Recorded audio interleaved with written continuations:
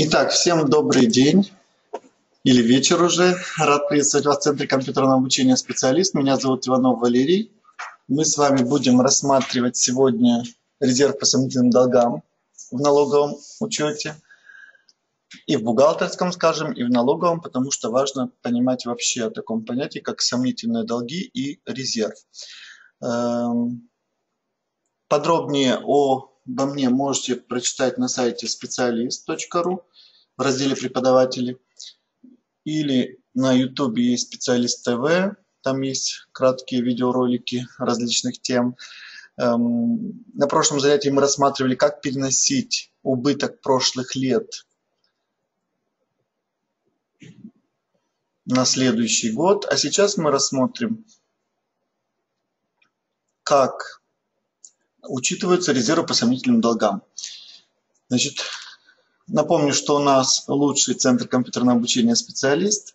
Э, вы можете по итогам курсов получить свидетельство, сертификат, удостоверение и диплом о повышении квалификации, о профессиональной подготовке, в зависимости от того, какую цель преследуете. И, конечно же, набор знаний, э, чтобы можно было смело вести бухгалтерский налоговый учет в компаниях.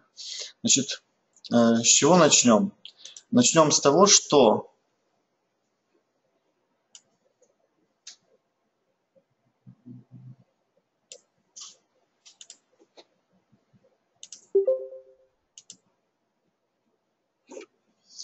Начнем с того, что сомнительный долг – это, то есть что считать сомнительным долгом. Значит, ну, глобально, под сомнительным долгом. Дарья, у вас какие ассоциации? Слово «долг» вы как понимаете? Долг, который должны, ну, грубо говоря, организация должна другой организации там, получили товар, но не платили. Угу. То есть, смотрите, здесь не каждый долг будет являться сомнительным, а именно он связан с реализацией товаров, работ, услуг. То есть сомнительный долг всегда связан с реализацией товаров, работ, услуг, не погашен в срок,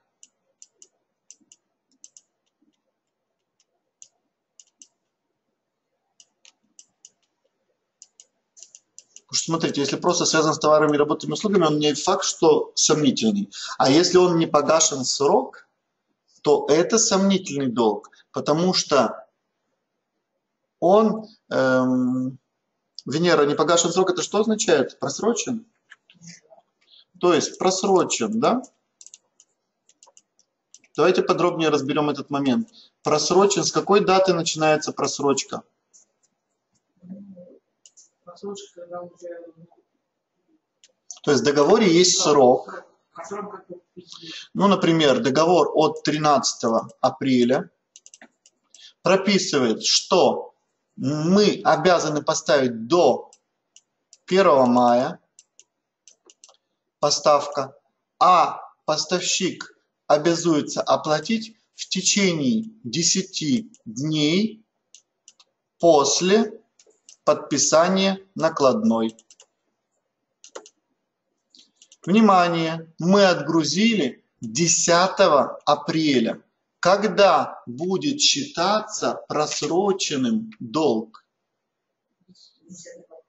Мы 10 апреля отгрузили покупателям товары. Они подписали нам накладные, что приняли товары к себе на склад. 10 апреля начинаем, ну как бы то есть, смотрите, договор, э, э, Венеру смутил договор с 13-го. Ничего страшного, Гражданский кодекс не запрещает договор датой позже, если события уже текли и имели место быть. То есть, иногда в договоре прописывают, что договор подписали 13 апреля, а правоотношения возникли с 1 февраля. Это не запрещено. Поэтому это может вас смутило. Накладная была 10 апреля, договор позже. Конечно, на практике избегайте таких ситуаций. Но вдруг, если такое случилось, в договоре может быть прописано, что он распространяется и на случай раньше, чем этот договор. это не критично. То есть нужно просто внимательно составить договор. Э, так вот, 10 апреля мы отгрузили. После какой даты просрочка? Мы дали 10 дней отсрочку, по сути, после 20, верно? Эм, и не, не важно, что мы должны были отгрузить до 1 мая. Мы же отгрузили раньше, значит, с момента подписания 10 дней. То есть просрочен, это означает просрочен. Сомнительный долг связан с реализацией товаров, работ, услуг. Кто кому продает? Уточним в первом пункте. Кто кому продает? Мы продаем, правильно? То есть еще раз, речь идет не о кредиторской задолженности. Мы продаем, то есть дебиторская задолженность. Когда мы говорим о сомнительных долгах, мы пока просто пытаемся сами понять теорию, а потом требования законодателя. Э, то есть то, что я сейчас озвучиваю, это все перечислено.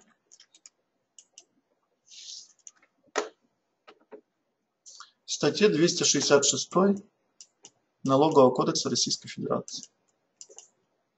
То есть, по сути, мы сегодня говорим о 266 статье Налогового кодекса Российской Федерации.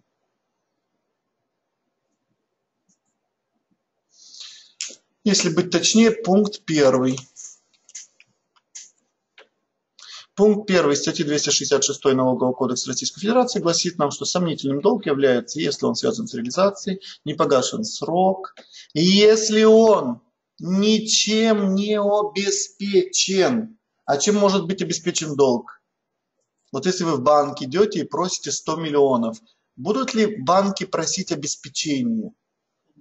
В виде чего могут просить? Гарантии, закладные, какие-то вот э, дополнительные имущества. Это не справка. Смотрите, справка о зарплате не является обеспечением. А чем является? Доказательством того, что вы способны трудиться. То есть не, не того, что э, вы сможете платить, а что вы теоретически способны трудиться. Правильно? Значит, получается, ну и э, не просто способны, а насколько способны. То есть там размер дохода будет указан, правильно? И если там размер дохода всего 20 тысяч, могут просить справку по форме банка, чтобы доказать, что вы еще больше способны. Потому что иногда работодатели официально платят 10 тысяч, 20 тысяч, а по факту начисляют в конвертах еще, выплачивают 100. Хорошо. И третий пункт, который вы должны записать у себя в шпаргалке – Значит, не обеспечен, ваш долг не обеспечен залогом, поручительством, гарантией. Потому что если есть гарантия по долгу, верно, что вам другой кто-то будет должен. И он несомнительно, вы не переживаете, у вас есть вероятность того, что другой будет платить по этому долгу.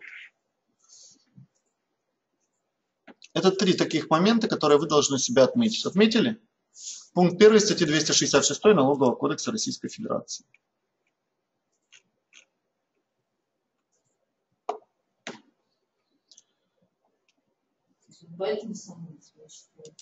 Да. Поэтому считается сомнительным. Почему? Что нету гарантий, нету никаких закладных, ничем не обеспечен. Он уже просрочен. Верно, если мы договаривались с вами, Венера, 30 дней отсрочка, а я вам не заплатил через год, вы, у вас какие мнения на этот счет? То есть сомнения закрались? Иногда бухгалтер скажет, вы что, я так хорошо знаю Валерия Георгиевича, он самый лучший, он заплатит. То есть может быть такое суждение у бухгалтера? Да. Поэтому критерий важен именно просрочен по условиям договора. Но в бухучете мы сейчас будем смотреть уже другое. Как оценить? Сомнительный хоть на один день уже просрочен. Но будут варианты, сколько дней, чтобы что-то делать. То есть, чтобы показывать расходы в налоговом учете или не показывать. Давайте скажем так То, что мы написали, это пункт 1 статьи 266 налогового кодекса. Но это налоговый учет, те критерии, которые мы записали. А есть еще понятие бухгалтерский учет. Так вот, запишите такую мысль, что в бухгалтерском учете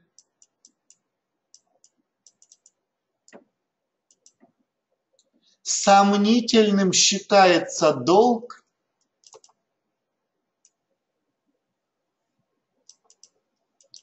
который соответствует всем критериям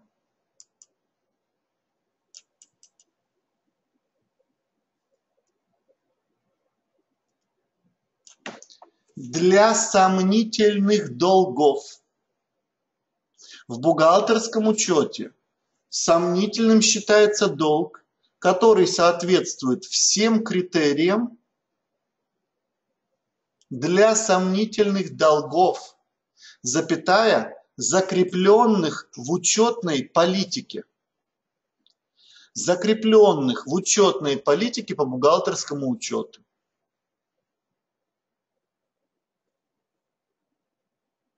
Максим, если мы в учетной политике закрепили критерий, пока рак на горе не свистнет, долг не считать сомнительным. Я образно иронизирую, но верно ли, что бухучет менее жесткий в этом плане и может вам разрешить придумать свои критерии?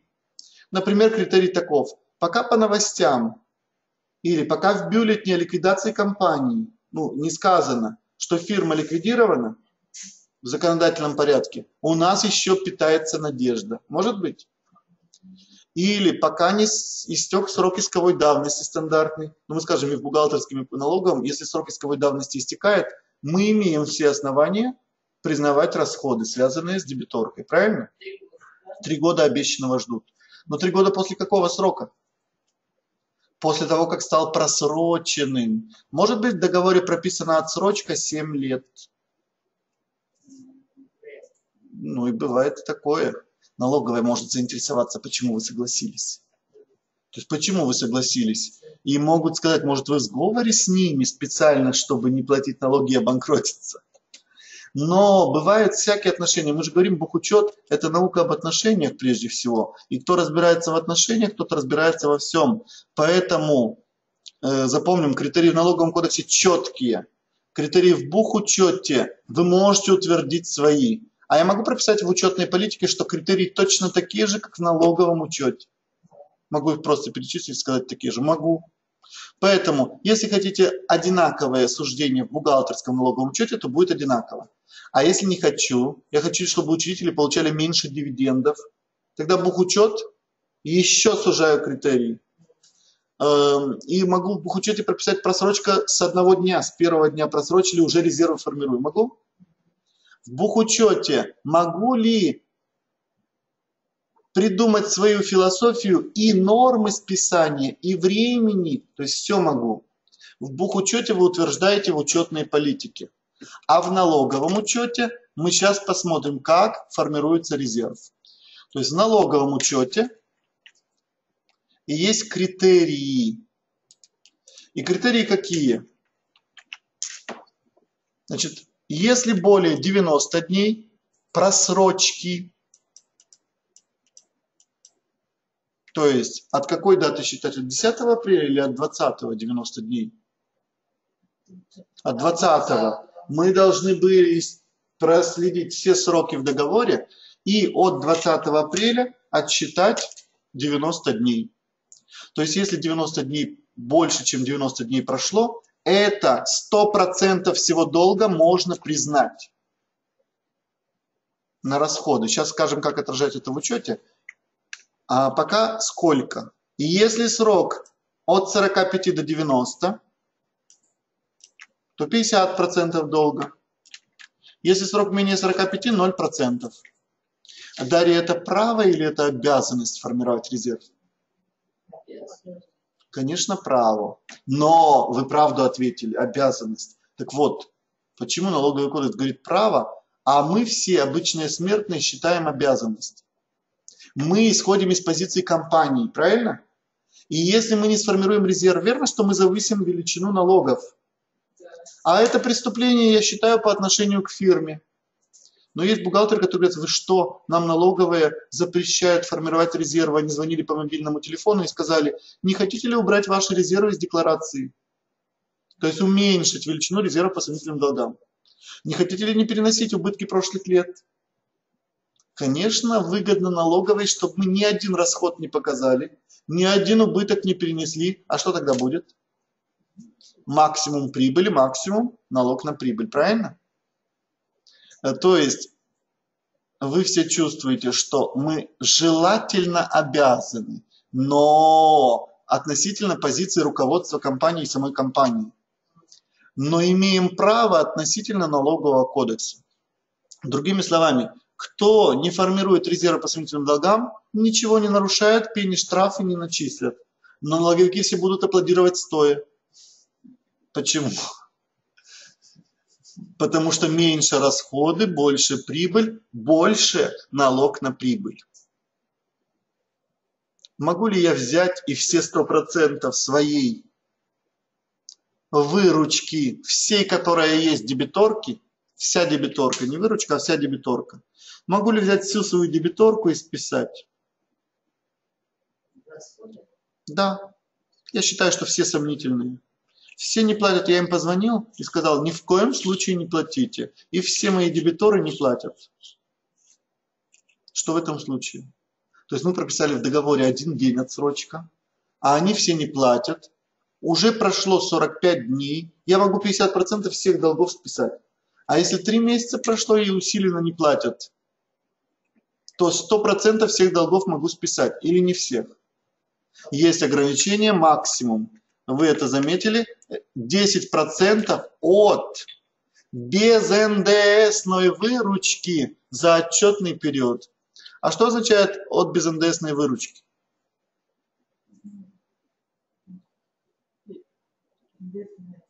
То есть нет-то выручки, верно? Ну да. Потому что если мы продали на 590 миллионов, то НДС 90 миллионов 18-18 и получится 500 миллионов без НДС. 10% от 500 миллионов сколько? Не-не, от 500. 50. То есть 50 миллионов максимум могу признать сомнительных долгов. 50 миллионов максимум сомнительных долгов. То есть еще раз, 10% от 500 миллионов.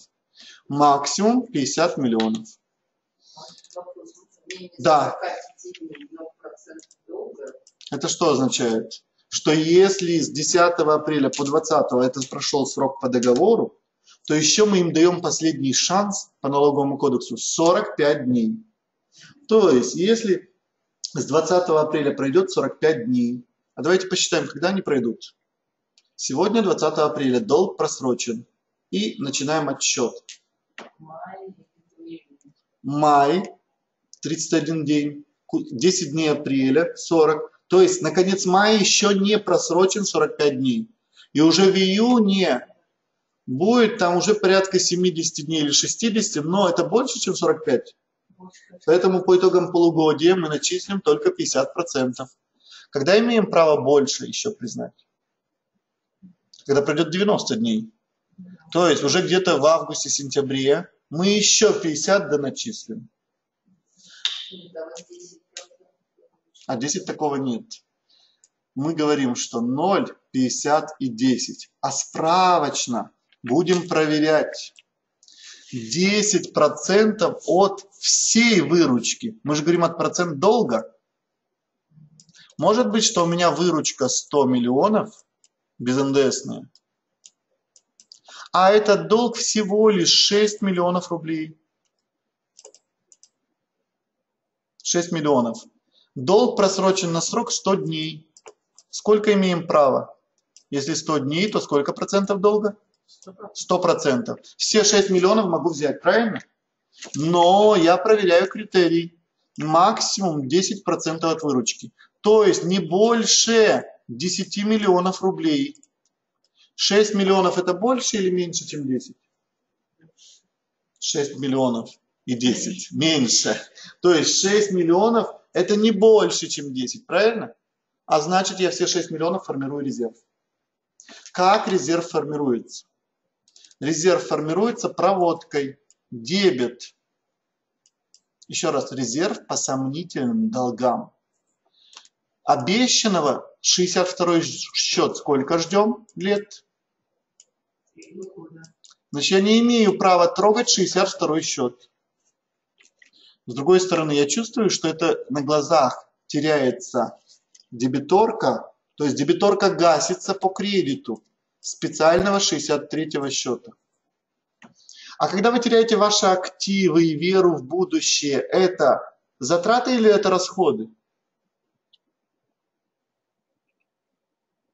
Дарья оживилась, думает, мы потеряли веру.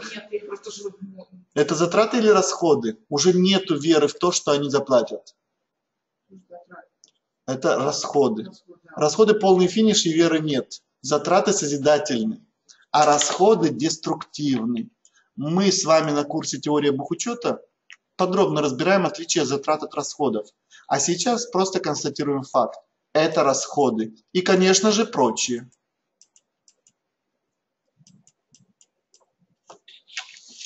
То есть еще раз, резерв формируется всегда как прочий расход. Кредит 63-го. Прочий расход и кредит 63-го счета.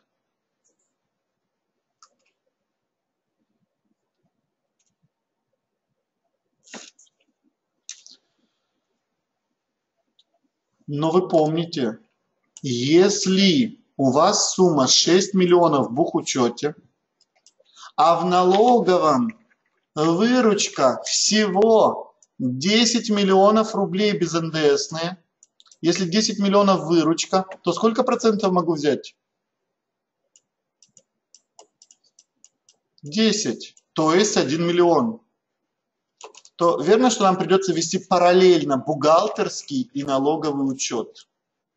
В бухучете я покажу 6 миллионов, а в налоговом учете всего 1 миллион. Что возникает? Ну, разница есть или нет? 6 и 1. Временная или постоянная? Правильный ответ. Постоянная разница 5 миллионов. Временной здесь нет. Многие говорят, как нет? Первый квартал, второй пересчитаем, пересмотрим. Все равно это постоянная разница.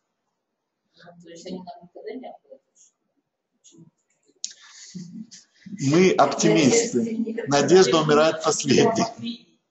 То есть надежда осталась. То есть смотрите, вероятность, что не оплатят, есть, и мы ее считаем.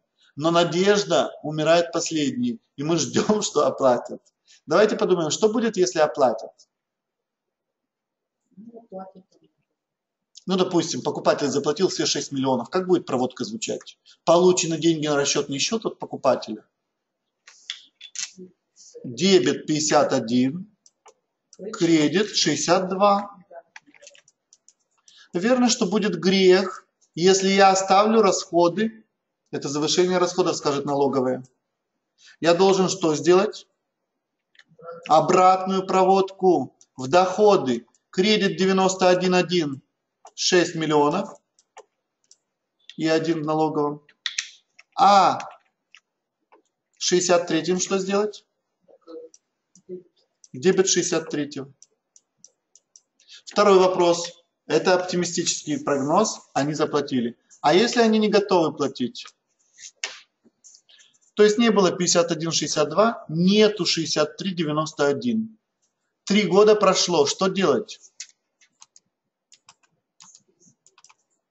Дебет 63, кредит 62.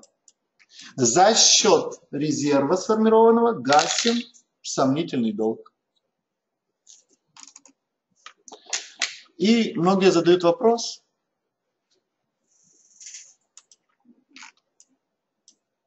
Многие задают вопрос, да, Максим, это расходы, вы правы.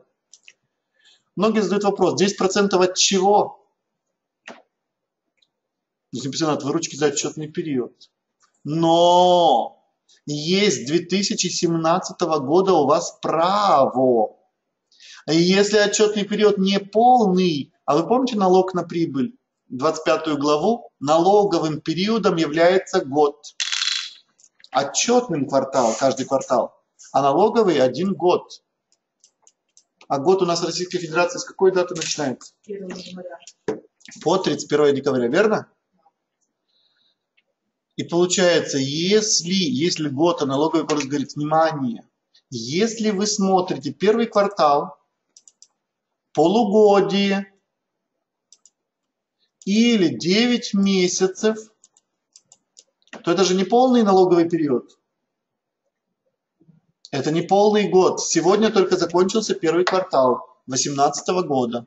Он закончился совсем недавно, но мы еще не сдавали отчетность за первый квартал. Или собираемся скоро сдавать. И если год только что закончился, внимание, закончился 17 год и первый квартал 18 я имею право брать 10% в неполном году от прошлого 2017 года. Это бонус? Я считаю, это бонус от государства. То есть еще раз, 10% от выручки за отчетный период имеется в виду от какой? Или за этот же первый квартал, или за прошлый год. Дарья, вы что выберете? Если в прошлом году была выручка 100 тысяч, а в этом первом квартале 100 миллионов. Да, потому что от 100 миллионов 10% это 10 миллионов. А если наоборот, в первом квартале 2 миллиона, а по итогам прошлого года 80 миллионов, тогда по итогам года. То есть, когда государство дает право выбора, оно дает вам, намекая на что? Берите тот показатель, который больше. Но если 2018 год закончился, и я рассматриваю отчетный период год по итогам всех 12 месяцев, я имею право брать 17 год? Нет. 10% только от 18. То есть пока сдаете декларацию за первый квартал, за полугодие, за 9 месяцев, вы нормируете 10% от выгодной величины.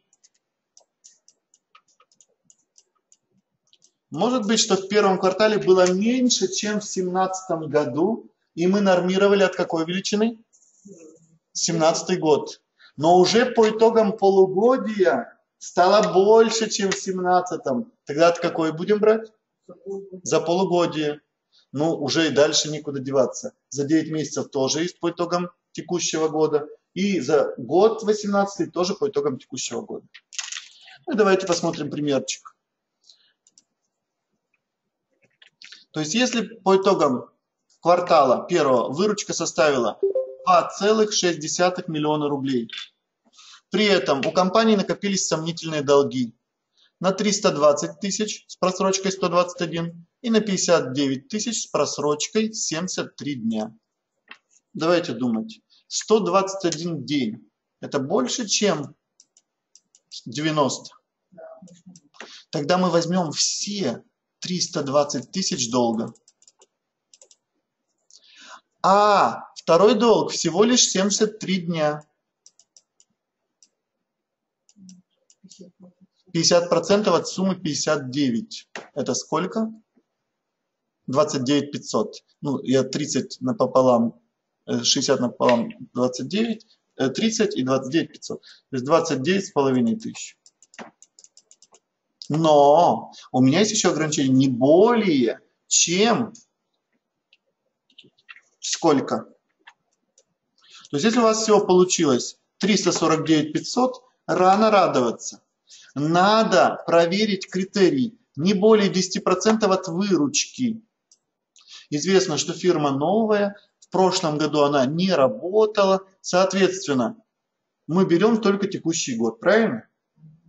А если был прошлый год, но там была выручка всего миллиончик, то я какой период возьму? Квартал 2 миллиона 600? Э, или э, прошлый квартал, прошлый год возьму 100 тысяч или миллион?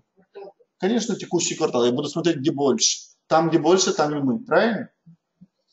И получается, 10% от 260 тысяч это сколько? 260 рублей. То есть это 260 рублей. Сколько можем максимум декларации за первый квартал по налогу на прибыль заявить резерва по сомнительным, долг, по сомнительным долгам? Если максимум 10%, это 260, а мы насчитали 349, сколько можем взять? 260 и не больше, по лимиту. Я могу хоть все долги считать сомнительными, но только могу взять не больше, чем 260. Верно? Э, Венера, понимаем, откуда 260? То есть, смотрите, у нас выручка 2 миллиона 600. А мы можем взять не больше, чем 10%. То есть 260 тысяч. А у нас было два долга сомнительных. 320 тысяч, больше 90 дней, и 59 тысяч. Но здесь мы взяли 50%, то есть одну вторую. Всего вышло 349,5 тысяч рублей. А если долг 349 500, сомнительный, но у вас выручка-то маленькая, верно налоговая вас ущемляет? Она говорит, кто вам виноват? Продавайте на 100 миллионов. От 100 миллионов сколько 10%? 10 миллионов. Тогда мы бы взяли весь долг. Правильно? 349 сомнительные 5. Но раз у вас выручка была всего 2 миллиона 600, то вы можете взять всего 260 тысяч рублей. 10 процентов. Со временем величина резерва может меняться, но в течение отчетного периода мы его корректируем. Еще раз, эта постоянная разница будет между бухгалтерским и налоговым, если в бухгалтерском будет по-другому рассчитываться. Но всегда подлежит корректировке в течение года. Почему? Потому что величина резерва в, теч... в текущем периоде минус предыдущем, плюс долги, которые стали безнадежными или были списаны в текущем, плюс новые долги. И если корректировка окажется больше нуля, то резерв надо увеличить. Ну, например, по итогам полугодия просрочка второго долга превысила 90 дней. Прошло полугодие. Второй долг, который был всего лишь э, там 50 дней, стал уже больше, чем 90 дней. А раз больше, чем 90, то мы должны взять все 320, которые брали, плюс 59, не 29 500, а уже 59. Это 379. Предполагаем, что выручка без НДСная за полугодие составила 4 миллиона рублей. Если 4 миллиона, то максимум 10% это сколько? А 400 больше ли, чем 379? Тогда мы сколько можем взять фактически? Только 379. То есть, еще раз, норма для того, чтобы ее не превысить. Но если по факту окажется меньше, чем норма, мы берем 379 величину резерва. Но стоп. Мне кажется, мы в первом квартале уже сформировали 260.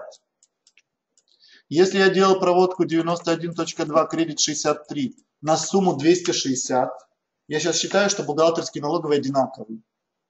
Если я делал проводку на 260, то верно, что мне нужно скорректировать, добавив Далее. Добавив еще 100 с чем-то тысяч. Давайте посчитаем. 379 минус 260, 119 тысяч.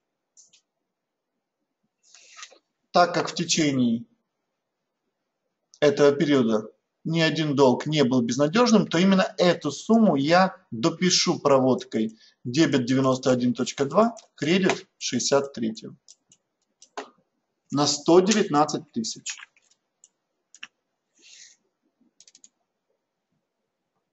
В бухучете вы помните, что компания может и обязана создавать резервы, однако разный учет под любую сомнительную и в ограничениях в размерах нет.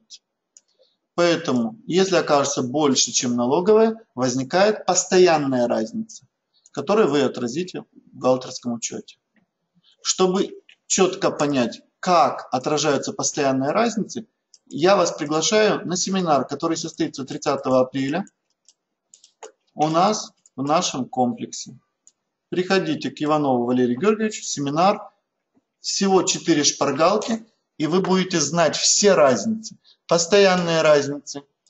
ПНО, ПНА рождают. Временные разницы, вычитаемые, налогооблагаемые. То есть все изучим. И это будет совсем скоро.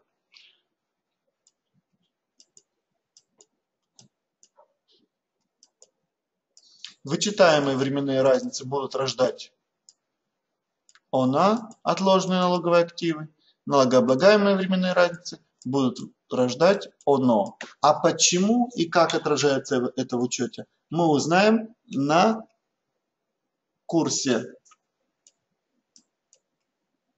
учет по ПБУ 1802, семинар практический. Эм, поэтому всех приглашаем на наши курсы в Центре компьютерного обучения специалист. Мы вас ждем. Если есть вопросы, задайте вопросы. Максим спрашивает, правильно ли он понимает, что в следующем квартале, если увеличится выручка, мы сможем дорезервировать. Верно, Максим, вы правильно понимаете. Мы можем дорезервировать разницу, которая не была учтена ранее. Какой еще раз вопрос? Венера. Угу. Когда формируем резерв проводки? 92 63, а вот еще следующий проводки, когда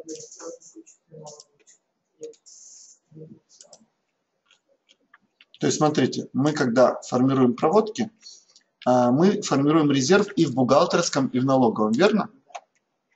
То есть на какие суммы?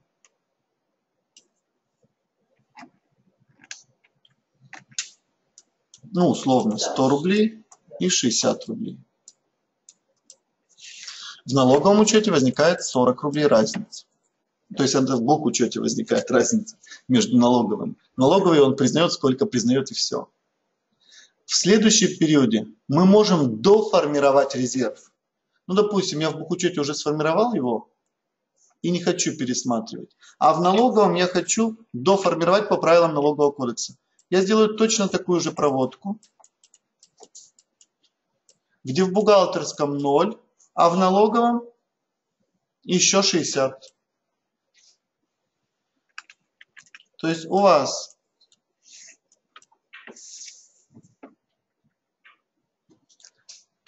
в бухгалтерском возникнет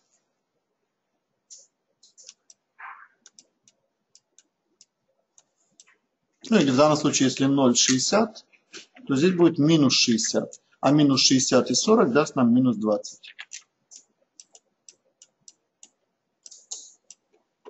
Но вопрос я не понял ваш, э, Венера. Э, по поводу, как будет использоваться резерв или что?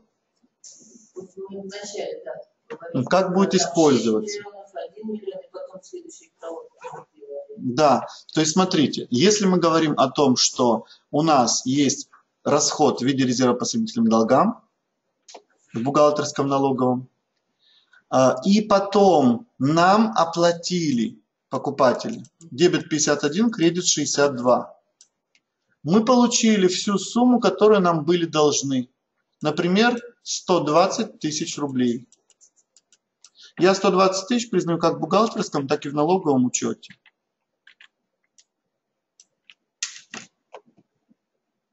Но я же уже сформировал резерв в бухгалтерском учете на 100 рублей и я должен этот резерв погасить в доходы. Дебет 63, кредит 91,1, прочие доходы. На сумму, внимание, резерв был сформирован в бухучете не на 120, а только на 100. На сумму 100 рублей. А вы помните, что покупатель нам был должен 120? То есть мы ему когда-то продавали на 120 рублей, брутто грязными. Долг всегда грязный с НДС, в том числе НДС. Нам показалось, что они заплатят на какой-то процент. Может быть такое, что есть вероятность, что заплатят. И мы решили, 5 шестых вероятность, что заплатят. А одна шестая, что не заплатят. Наоборот, 5 шестых не заплатят, одна шестая заплатят. 5 шестых 100 тысяч мы сформировали резерв, а одну шестую оставили на э, то, что могут не доплатить или заплатят. Они заплатили все 120. И я должен признать дефолт, что я ошибался. И это нормально. Бухгалтер может в своих оценочных суждениях ошибаться. Он обязан формировать резервы в бухучете, но он может ошибаться, правильно? Одно дело формировать, а другое дело ошибаться. Мы-то формировали, формировали, нас не осуждают.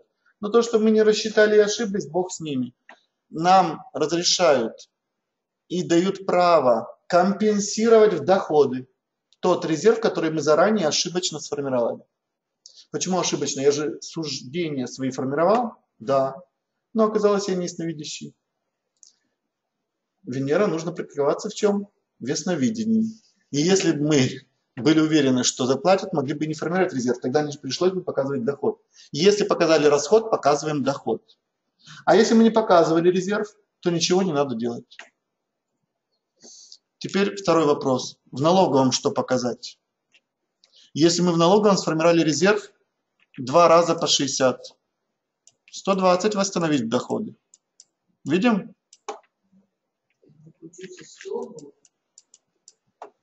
Вы восстановите в бухучете доход только 100, а в налоговом 120.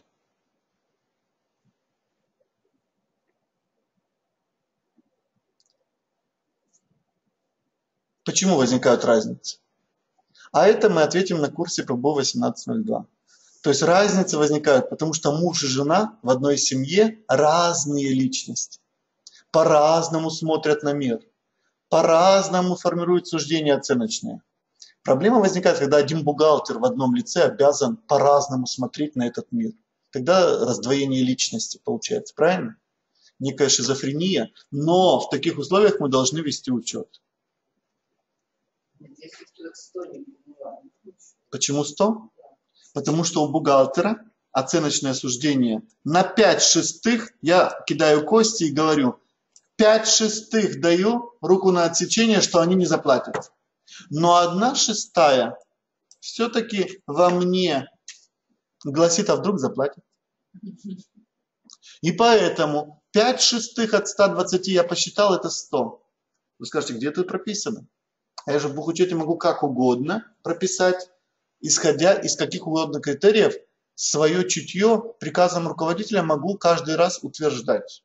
Понятно, то есть резерв я сделала на 100 тысяч. Да, и вы это утвердили, константы. Они должны 120, а мы сделали только на 100. В бухучете. Это в бухучете. А в налоговом? А в налоговом мы берем половину 60, когда прошло 45 дней, и вторую половину, когда прошло 90 дней. Налоговый кодекс говорит только половинки, 50 и 50, или ничего. Половину от чего еще раз? От того, что должен, от 120. 60 плюс 60 это сколько? 120. Прошло 45 дней, мы 60. 20 это же с НДС. Да, от А НДСной. должны- А берем Тоже с НДС. И в налоговом тоже с НДС. Долг – это дебиторка. Нет, это 10% от всей выручки. Не больше, чем 10% от всей выручки. А вся выручка компании могла ли быть там А, от всей выручки. От всей выручки. Да. от всей выручки компании? Ну, может, я, я не брал здесь показатель еще выручка и не нормировал отдельно, но теоретически у меня может быть разница. То есть теоретически могла ли быть выручка э, 600 тысяч? Могла? То есть выручка могла быть 600 тысяч, поэтому ровно 60 рублей. И так совпало, что ровно 600 тысяч, ровно 60 рублей, и у меня ровно половинка тоже 60. Ну, Теперь я мы берем 10% от всей выручки компании, которая... Да, которая отдельно заработана. Нормирование берем А в 10%. бухучете берем, ту сумму, которую... Какую хотим. В бухучете какую хотим. В налоговом учете от конкретного поставщика. Но не больше, чем 100% в бухучете. В бухучете можно и 90, и 95, и 80, и 60, и 70, и 20, и 30%. В налоговом строго 50 и 100. То есть, смотрите, от долга. В налоговом учете строго от долга. а 10% от всей выручки. И здесь ключевое. От долга, от долга с НДС, который озвучен покупателю с НДС, а от выручки без НДС. Отметьте эту мысль. Сто процентов от долга с НДС покупателю озвученного и 10% от без НДСной массы. От долга с НДС, а выручку берем всю без НДСную.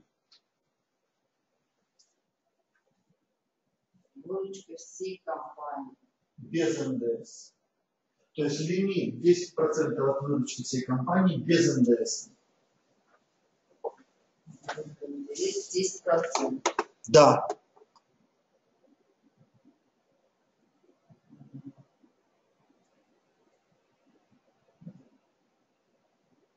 Вот это все нюансы.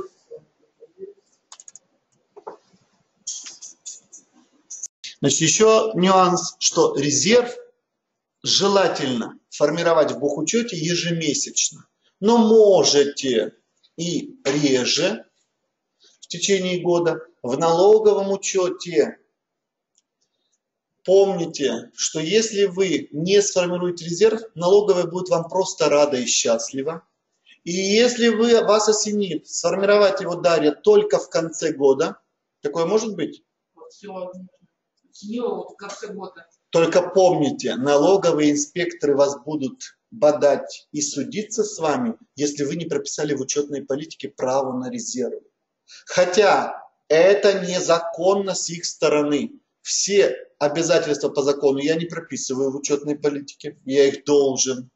И все права, которые есть по закону, я не должен прописывать в учетной политике, они есть от природы, от закона.